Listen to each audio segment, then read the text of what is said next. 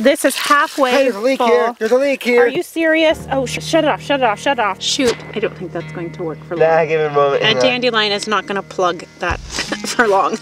Oh, wait, this hurts something small. In today's video, I'm going to share the truth about homesteading. The dark side of homesteading.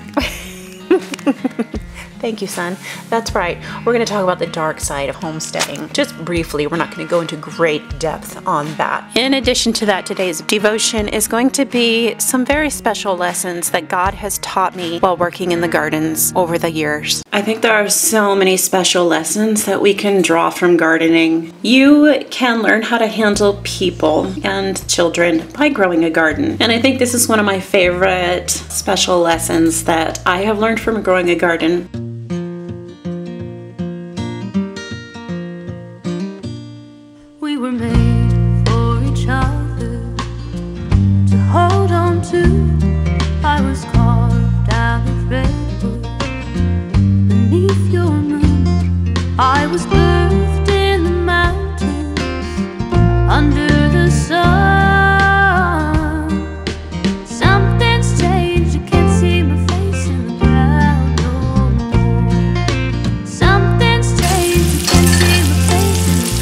Busy, bustling day here at the homestead. It's the day we've been waiting for for quite some time now, and we are going out to plant our cold crops. I'm very excited. Kids are scurrying through their chores and breakfast. We have all of that almost out of the way, and we are about to head out.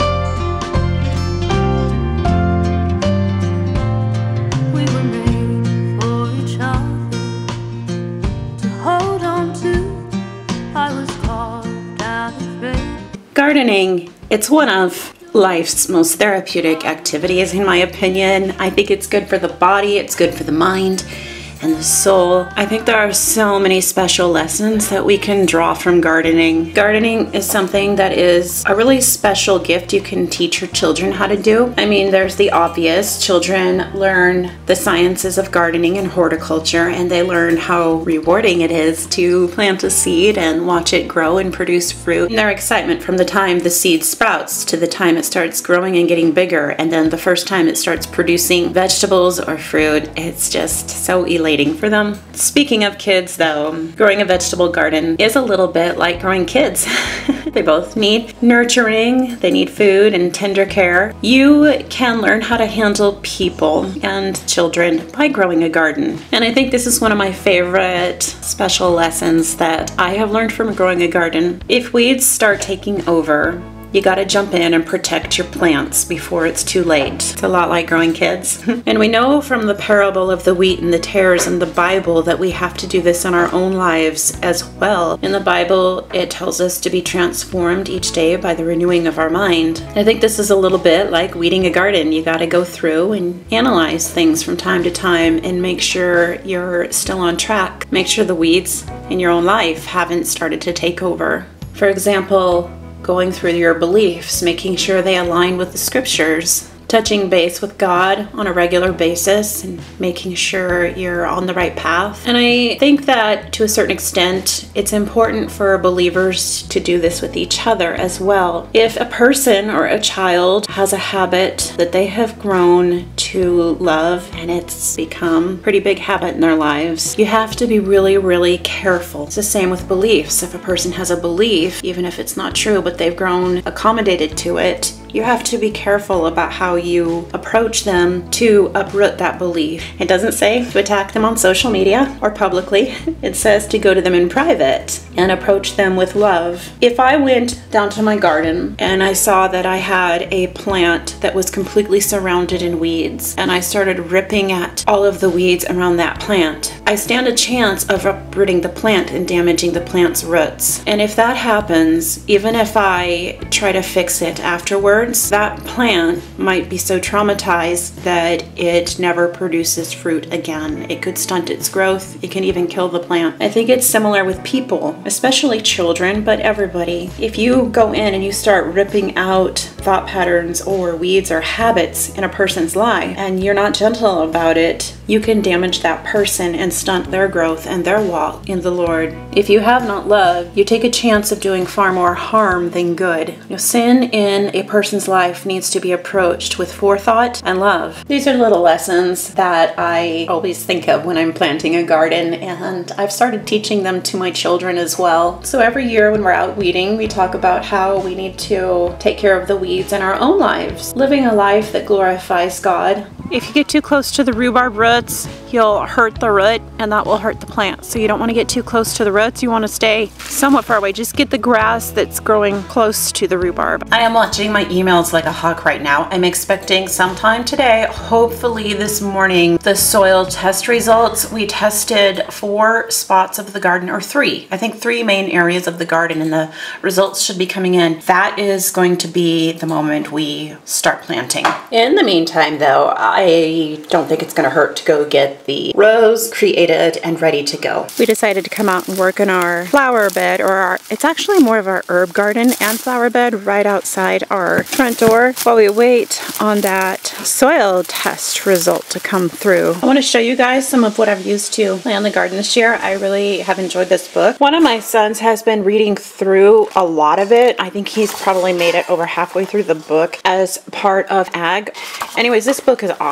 It's got a lot of information on each of the varieties of vegetables. So it's been helpful in, as we've been planning our garden this year. I wanted to show you guys what I used to plan our garden this year. I used the Farmer's Almanac Garden Planner. You can get this online. Um, you can do it all on your computer. I think you can also do it all on your phone, but it helps you with companion planting. If you get the membership, which is what I did, it will let you know what was planted or what you planted in a certain area for five years so that you can reduce pests and diseases. So here we are. I have the whole garden plan. It's almost done. This this right here is the major area that you're seeing. I've got all kinds of fun plans here. I still need to finish working out this area. What I'm doing right now is I'm just literally waiting on that email to come in with the soil testing because I may end up moving some of these crops. Like I'm not sure if I want the corn there or not. I just want to make sure the soil is going to be good for the corn. I also want to make sure the soil for the potatoes and the soil for the tomatoes is optimal. So if we have like areas that are more acidic than others, I definitely want to make sure to plant the acid loving vegetables in those spaces. And if I do have any areas that are more alkaline, I want to make sure to plant the alkaline loving vegetables in the appropriate areas. So that is literally what I'm waiting on. Today is our potato cutting day. We're cutting up Yukons, golden Yukons, and red Pontiacs. And over here, we're going to be cutting up some russets, getting them ready to plant. You want to cut these to about a golf ball size. And you want to make sure that each one has a couple little eye buds on it or like these ones are getting away from us here obviously i went with yukons and pontiacs because they're really good for storing and we definitely want a lot of potatoes to store through the winter. I'm hoping we won't have to buy any. I looked it up and how many you want to plant per person. We're a family of eight, so I can't remember how much it said to plant. We have over 200 plants we're going to be planting though.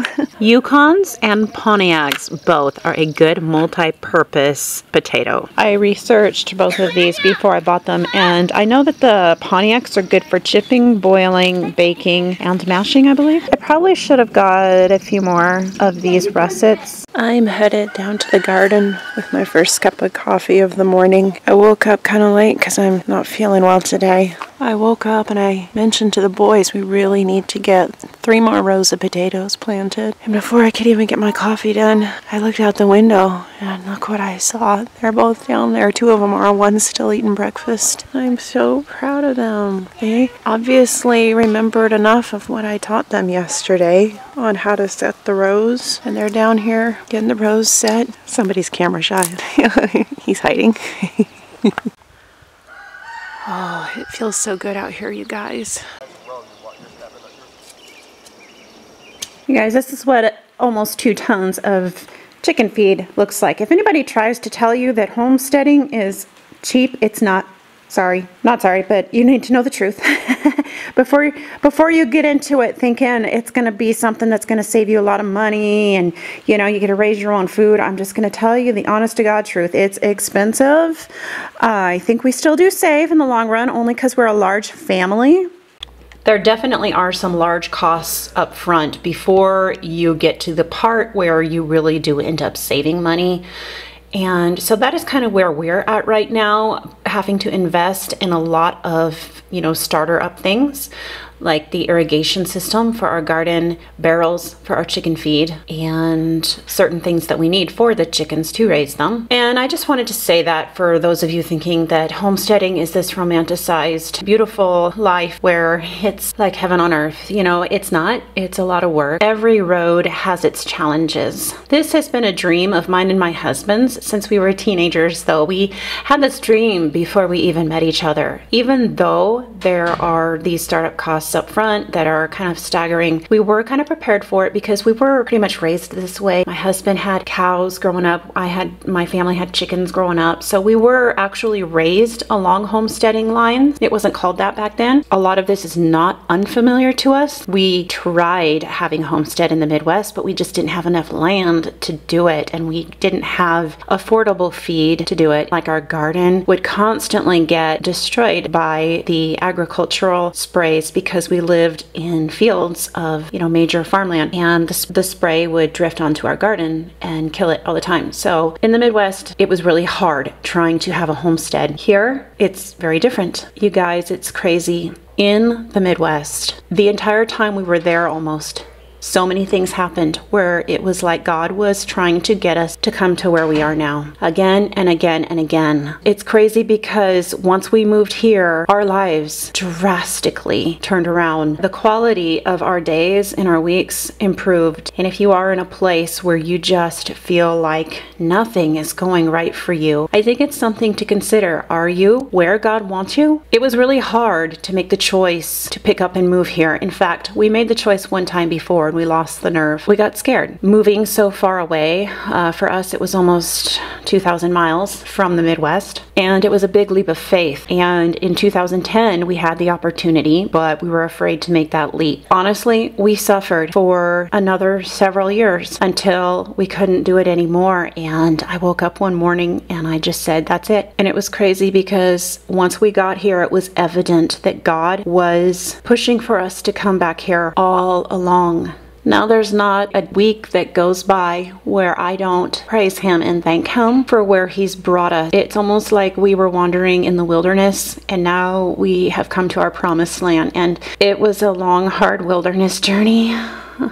And it took a, toll on us, but I do feel like God is honestly being faithful to His word when He says He will restore what the locust has eaten and rebuild the years that were destroyed. It says this in the book of Joel. You guys, he counts the tears. He really does count the tears. There is not a tear that is wasted in this life that God does not count. Over here. Boy, they got too big. They're not that big yet. They're still little fuzzballs. Raisin. The one with a white beak is raisin. Raisin? It's going away. Raisin.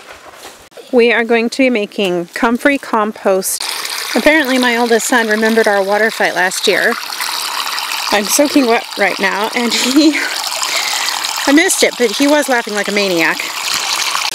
What's your bracelet say? I can do all things through Christ Jesus who strengthens me. All right, we got some comfrey. This is this is halfway Hey, there's a leak full. here. There's a leak here. Are you serious? Oh, shut it off, shut it off, shut it off. Shoot. I don't think that's going to work for long. Nah, give it a moment. And Hang on. Dandelion is not going to plug that for long. Oh, wait, let's start something smaller. Anyways, once we can find another barrel, we're going to refill it with the comfrey and water and let it ferment for how many days? I just can't remember. Was it like a month? Look under. it. Oh, I can't. Look, you look under it. Look at my. Fine. Ugh. I don't see anything.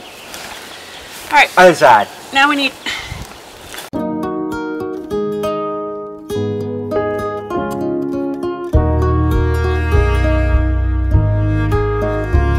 wild strawberries. There's probably like, oh, I don't know, 12 little bushes in this little area. You can eat the invisible strawberry. Okay, come on, kids. I'm gonna show you something else over here. Well, Sunday morning when I was out here, I found something growing. I'll show you what it is. Okay, I'll show you. See this area right up in here? Uh-huh. Uh-huh. There are thorns on these, so you don't want to go in them because they will hurt. But you know what these are? What? These are wild roses. They're gonna make beautiful pink roses. Probably in about three weeks. They'll probably start in June. They're called June roses. Mom, look at these. No, but I'm serious. Okay. Another one was 25 pounds per acre. I am on top of a mountain, way out in the mountains, closer to like halfway between. So you probably wouldn't recommend it. If I do the borax, it sounds like it's a much better idea to do it like in the fall when I'm gonna be tilling. I just got off the phone with the soil test people and the guy said, yes, I absolutely can use borax. So you can use borax if your garden needs boron. The only problem is that you can really overdo it quickly. Borax is 11% boron and you can kind of poison your soil with too much boron. He said as little as it needs, he would probably just skip it. Another plan of action is to put it on next year or actually at the end of this year for next year. Um, so I think that's what we're gonna do. And we're only gonna need a box and a half of and it should be enough to restore what's depleted in the soil. And if we overdo it, it will have the winter to kind of uh, not disintegrate, but water down, I guess, a little bit, but it won't won't a whole lot. This portion of the garden right in here, I think it needed only a half a pound of sulfur. Down there, it needs, I believe, a pound of sulfur. And get this, over here, where the soil isn't nearly as good, it needs 25 pounds of sulfur, and that's per acre. They smell good. I know they smell good. Ah. Just today was wondering when you were going to find these because I knew they were about to start blooming. It was just today. And was- we found them out in the Yeah, you found them. Yeah, we got more. flowers together. This is called a Super Trooper Yellow Dianthus. Can you say Dianthus? You can? Yes. Will you say Dianthus? I don't know. Can I put it now? No, we gotta take it out of the pot. Like this. We gotta take it out first. See? There you go. Yeah, now we gotta put, yes, put the dirt all around. Good. Oh, let's get the spoon out. I wouldn't, I wouldn't be using a spoon right now if you hadn't lost the shovel. You keep an eye out for that shovel, please. Mm-hmm. Okay? All right, thank you. Here we go. How pretty. Let's do these Now, ones. now you gotta put this down so we know what it is. Put it. Go ahead and put that one in the soil now. Put it in a little spot. That's called a petunia. Can you say petunia? Potato. Petunia.